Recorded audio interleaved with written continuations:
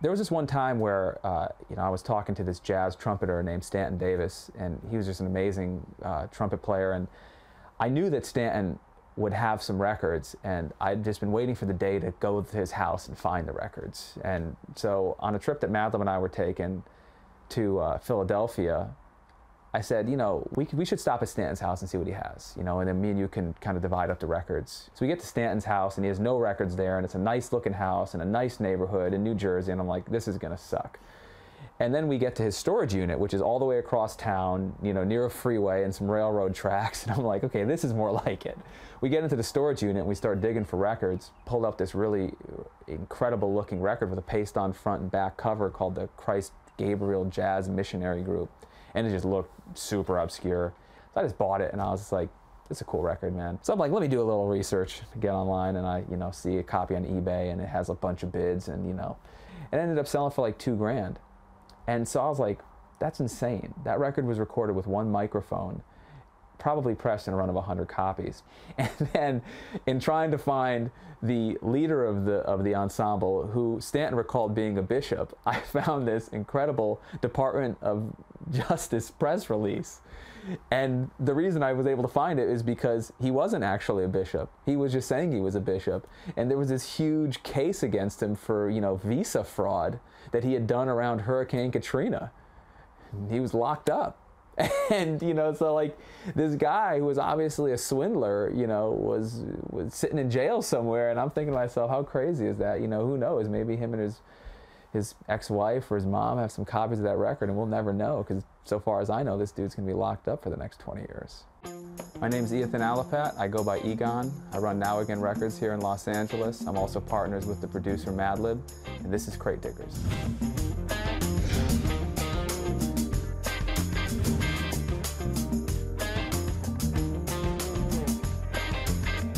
Well, I come from a family of musicians. My father was a guitarist in India, and my mother was a classically trained pianist. And so music was a big part of my upbringing. We didn't have a TV when I was growing up. My parents were just not into it. They believed that, you know, I should be, and my brothers and then my sister should be more involved with, you know, the arts. And so we were painting and drawing and, you know, out in the backyard planting asparagus and searching for potato beetles and listening to records. I mean, the art was cool but the records were where my you know passion quickly became.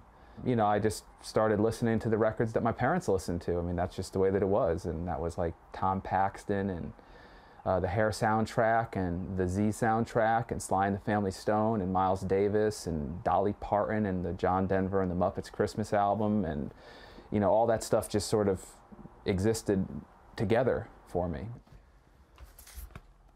This is an interesting record by a guy named Stephen David Heitkotter. There was only 20 copies of this record made, maybe 25. Um, Stephen himself doesn't know, and he's been a ward of the state for the past 30 years.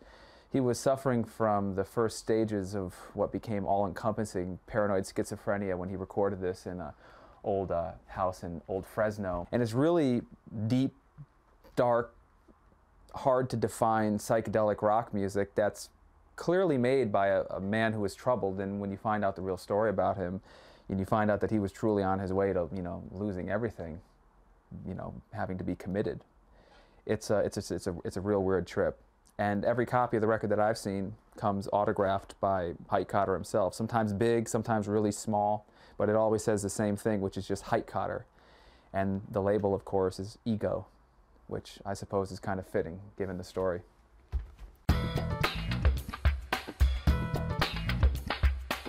At the moment, I have probably, you know, 10,000 records, something like that. But this is really the stuff that matters to me at this point. I mean, there's, there's a handful of records at my parents' house that are really important to me, like all of my Galt McDermott acetates are there, and, uh, you know, like a bunch of the high school band records that I bought when they were cheap, you know, like the Douglas High um, albums, including Blackout, which I bought sealed in some dude's house in Little Rock and cracked open and man, I wish I'd kept it sealed now because I would have sold that thing for whatever it sells for five, six thousand.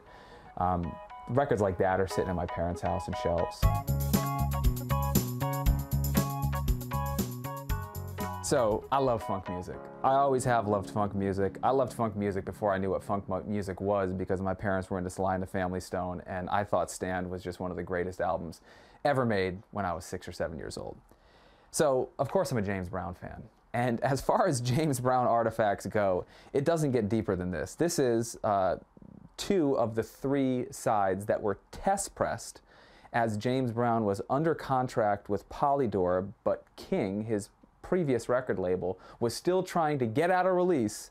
And it was the Love, Peace, and Power show, which was issued on CD uh, in, the, in the 90s, in its original full form.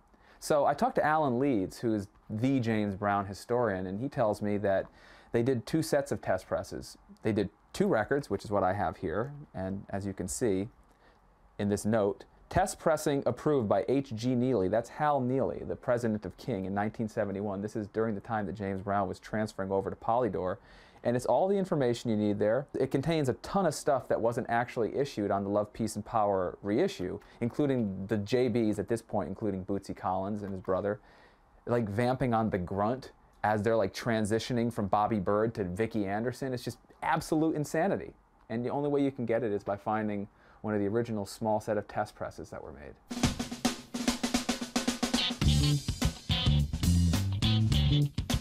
One time in the late 90s, I went and bought about, I'm gonna guess, five, 600, seven inches out of a, a defunct record store called Eddie Three Way in New Orleans.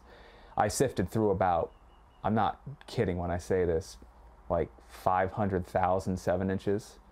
I spent about a month doing it because I had no money. So that was the most that I could afford to buy. And I kicked myself for not trying to get a loan from record collectors who had deeper pockets than me because I was the first one there. So it was just chock full of stuff. And I left hundreds and hundreds of records. And when people found out about it after me, they cleaned up.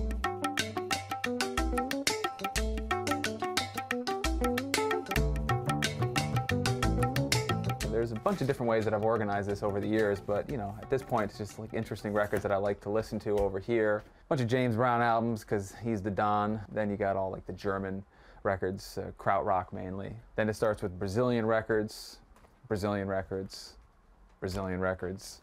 Brazilian influenced records. And then we get into African records, Zambia, Nigeria, Cape Verde, because I'm really into that. We get into rock, you know, Velvet Underground, Beatles records, Captain Beefheart, and then more obscure stuff. A little bit of boogie, a little bit of disco. Then funk and soul, which goes all the way over. Gets into jazz, avant-garde weirdo stuff. Like there's a bunch of records from, you know, Russia and Yugoslavia and places like that. a Bunch of hip hop. Then all the stuff that I do with Madlib, all my old school hip hop 12s, including the Golden Age stuff Iran, Turkey, Greece, Lebanon, Japan, Indonesia, South Korea, India, a little bit of Latin music because sometimes nothing but Latin will do, island vibes because that's what my wife's really into, and then all my high school band records.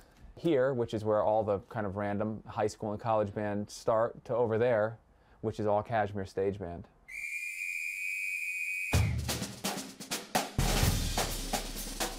Detroit Sex Machines. When I was in the hospital with Dilla, um, shortly before he passed, I had actually reissued both sides of each of these 7 inches on a 12 inch EP. I brought it to the hospital to show him and his mom because I was like, it's Detroit, man. We have something to talk about. I show it to him and he's like, oh, cool, man. You know, I can't wait to listen to it. And I show it to his mom and his mom starts reading the liner notes and she's like, Ted Dudley. She's like, James, you know, didn't your uncle Clemmer record with Ted? And he's like, yeah, yeah, I think he did.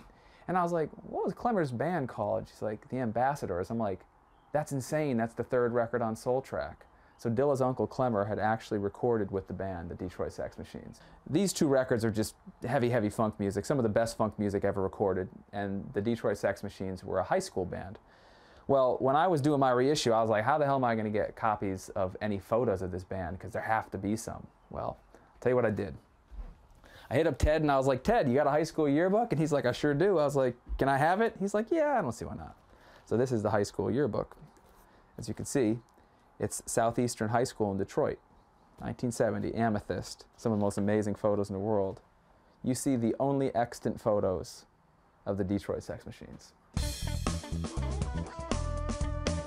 At the moment, I really don't do much like digging per se, like actually going out and like buying records in stores. I focus on regions of the world and I buy everything from them. So, for instance, Zambia right now, I buy everything from Zambia that I possibly can. Let me put it to you this way You walk into a Western Union and you say, I want to send a whole bunch of money to Nigeria or Zambia or Indonesia. And you know they hand you this little pamphlet, and it's like what scams to look out for. And then when you still go through with it, they're like, "Are you 100% sure?" And you sign everything, and you make sure that it's okay because there's just so many damn scams in that part, those parts of the world. But you know, I've been taken for a ride a bunch of times. The people who've taken me for a ride are largely the people that you meet in you know Western cities. One of the biggest wants I had was the Question Mark album. This is the most confounding record that I've heard from Nigeria because if you didn't know it was from Nigeria, if you didn't see the cover, if you just listened to it, you'd swear it was recorded in the Midwest, you know, and that these guys were just on some other thing and they were doing some like really polyrhythmic cool stuff because the guy sounds like a high pitched, nasally, you know, white guy recording kind of as punk is being birthed. It's, it's really hard to describe.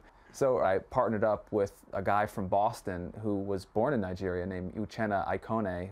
He said, Hey, I'm going down to Nigeria and I'm going to find these guys. I'm not going to rip you off if you help fund my trip. I'll go down there, I'll find these guys. And guess what? I'll find some records for you. You can pay them, you know, what I would pay, and I'll send them back to you or I'll bring them back.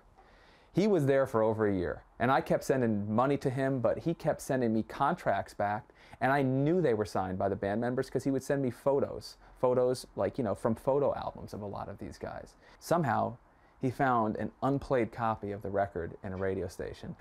And Madlib actually ended up sampling a track uh, off of this for his Beat Konducta in Africa record, and I've been talking with Mos Def about doing a, a, song with it because it's one of Mos Def's favorite Madlib beats from that album. And we've licensed the entire album from the band leader, Franklin Yazura, who currently lives in Texas, of all places. Well, you know, in the same way that I watch, you know, History Channel and, you know, or whatever the hell that thing's called, American Pickers, I don't even know, like, you know, and these guys, you know, digging up, you know, America's history one piece at a time and like all this cheesy stuff. It's like, you know, I, I think it's kind of corny, but at the same time, you know, it is sort of true. I mean, days of going into a record store and like pulling out a copy of Carlene and the Groovers in, you know, South Carolina, those days are over, you know what I mean? And it's it's on people like me, I think, to go a little bit deeper, and you know that's what we do. So you know, call, call it archiving, call it archaeology, just call it exploration. I mean, you know, it's what we do. We we dig a lot deeper. This I listened to before I bought. I listened to it digitally someone had sent me the files as you know MP3s or burned me a CD or something in 2001 or 2002, right before I went down to Brazil for the first time. I looked for this record when I went down to Brazil. I couldn't find it. My second trip to Brazil, I was lucky enough to find a copy of the record. And I brought it home and I listened to it and I played it to my wife. My wife, who speaks fluent Portuguese because she's Portuguese, she used the record to teach me Portuguese. Now, if I just had the files, would that have happened? I don't know, maybe not. But the fact that this record was sitting there certainly led to this. That to me is a super important story.